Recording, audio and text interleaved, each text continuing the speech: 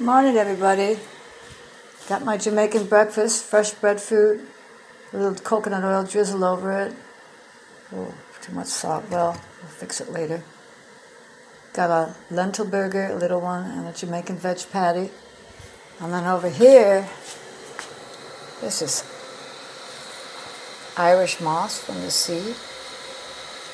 And it's very, very good for you. I've got some fresh ginger in here too. And I've got some real raw brown sugar from Jamaica in there, and I'm boiling it up.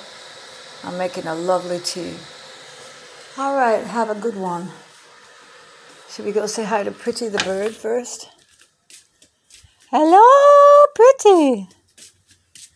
Hello, Pretty. And then, of course, we've always got Misty the dog.